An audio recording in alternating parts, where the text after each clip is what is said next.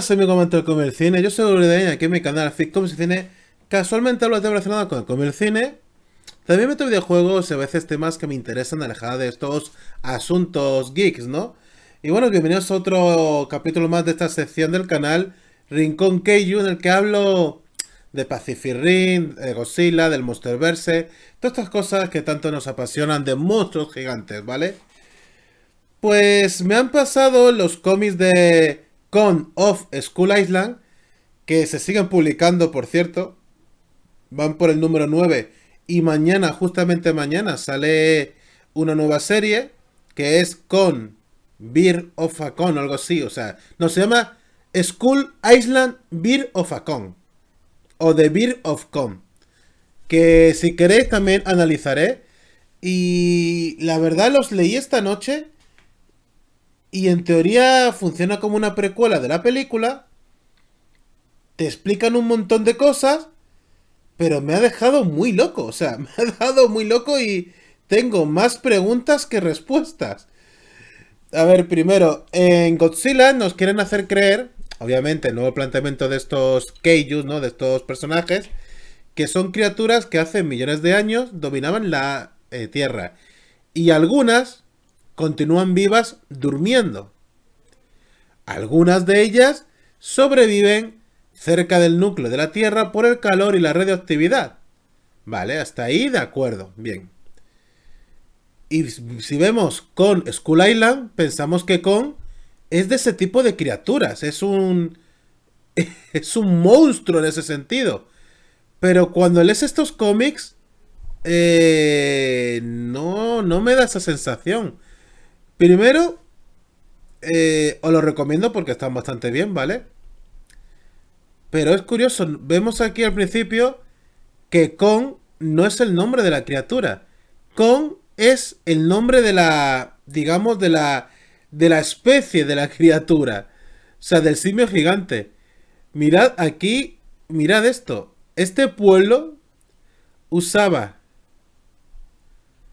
a los Kong como gladiadores en sus rituales. Mirad, hay un estadio y vemos a dos simios gigantes dándose de leches. Y es bastante curioso y... Vamos a ver, o sea, es que... me vuelve loco. Eh, a ver, os voy a resumir un poquito la historia, ¿vale? Va de que es una civilización entre asiática y azteca, una mezcla de ambas, en el que está la cuidadora de los animales, de estos simios gigantes, que son la representación de su dios, pero a, e, pero a los simios los tratan bastante mal. O sea, a la más mínima les castigan. Aquí vemos que le lanza una especie de, mm, de bálsamo eh, eh, gaseoso que los adormece pero realmente no, no le tienen respeto a estas criaturas. De hecho, parte de la trama es que se las quieren cargar.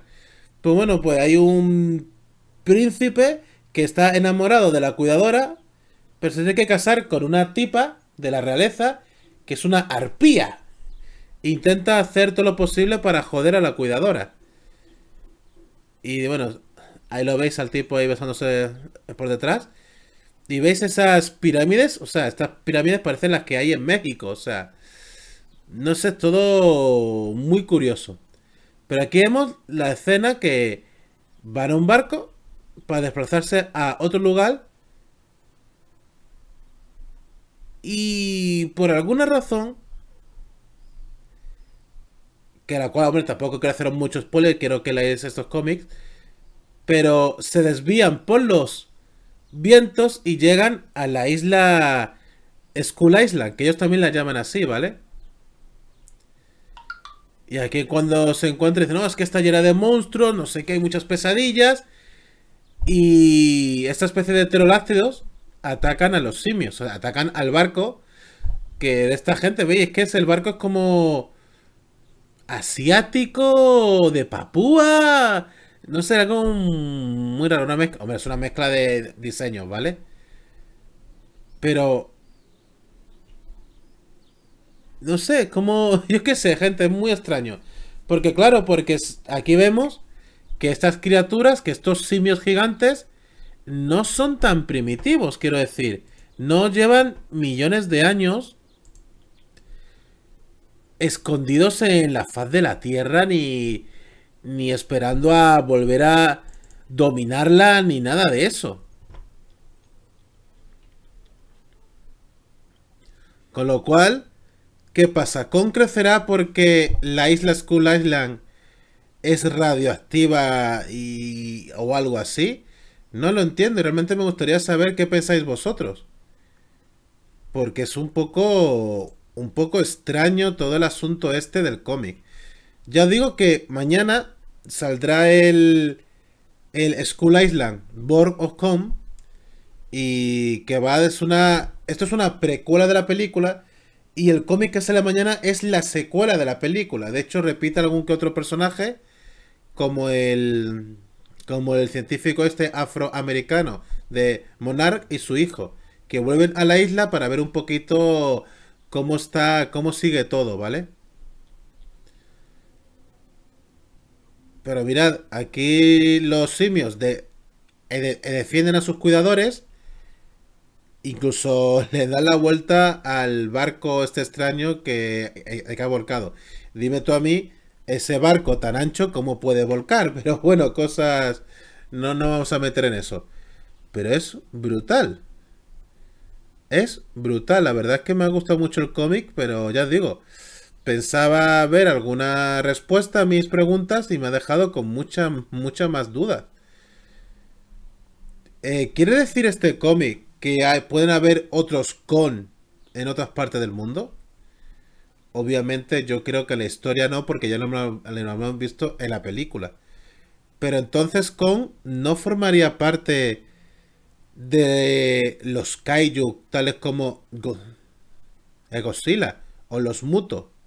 Mirad, ahí tenemos a siete simios. Bueno, siete y no sé si por arriba hay otro detrás de una vela. Pero súper raro. Bueno, aquí vemos cómo se casa el tipo este con la... O sea, el príncipe este con la tipa esta que digo, que es una arpía. Y esta tipa llora. Luego hay una catástrofe natural que es como un poco el estilo de Pompeya, que sale lava y destroza lo que es la isla. Con lo cual tienen que huir. Ahí la calavera es la única isla que tiene cerca. Aparentemente. Y tienen que enfrentarse un poquito a todo este rollo. Pero aquí no vemos a los a los chupacráneos. Vemos esta especie de mm, no sé si pseudo velociraptores que son muy inteligentes. De hecho, hay una escena que os quería enseñar que me ha dejado loco, pero loco. Bueno, aquí veis cómo los lugareños hacen lo que les da la gana con, los pobres simios. Hay uno que dejan, que dejan lo que es tuerto. Sabemos que hay mucho desprecio hacia los simios. O sea, es curioso que es una representación de, su dios, pero les tienen desprecio. Y esto, este cómic eh, explica a través de la cuidadora la fascinación que tiene con de los humanos, que los protege. Porque es lo que su especie mm, ha adquirido. ¿Sabéis el instinto de un, de un perro que durante tantas generaciones se les enseña a cuidar una casa y tal? Y esa raza de perro específica tiene ese instinto aunque nadie le enseñe? Pues algo parecido.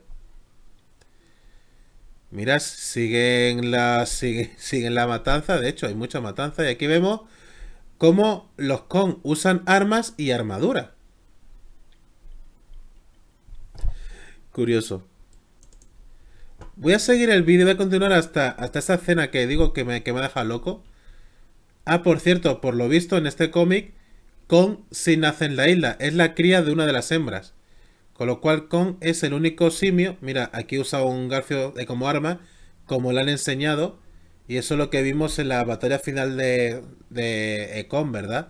Que coge la cadena del barco y la usa como un arma. Y la verdad, tiene sentido ese tipo de cosas, ¿no? Que tienen entrenamiento en, en combate. Aquí vemos como uno de ellos muere, como es destripado.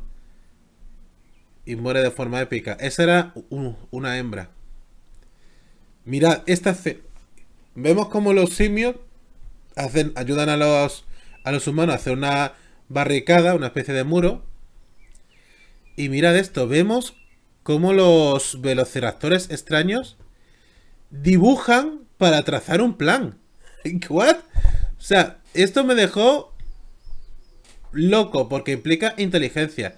Yo no sé si estos bichos son como los antecesores de los de los de los chupacráneos o no tienen nada que ver, pero es bastante curioso. Pero en fin, dejo de spoilearos más. Os recomiendo mucho este cómic. Si os gustan los eh, y el Monsterverse.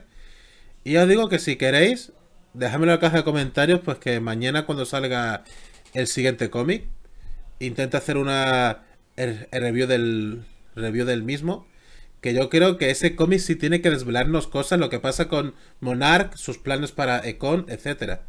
Ya sabéis que yo tengo la teoría de que Monarch quiere un poquito potenciar a Con, hacerle crecer como defensa para los Keiju, ¿no? O sea, que vuelvan a aparecer esos monstruos milenarios que Monarch tiene la certeza de que eso va a pasar eh, en algún momento y usar a Kong por su cercanía con los humanos como posible método de defensa, una defensa un poquito un poquito loca, pero ya sabéis, ¿no?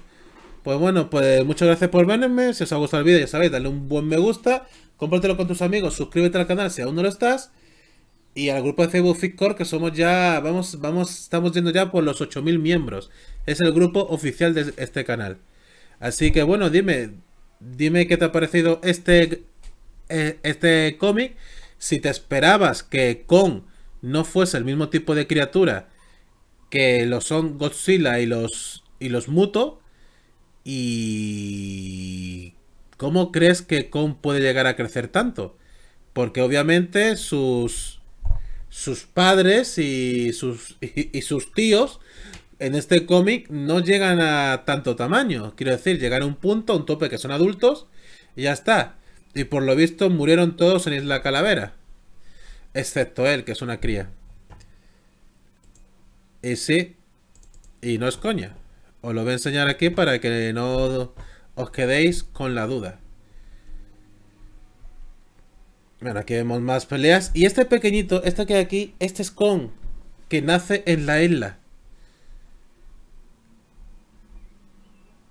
Mira, mira lo que cuco.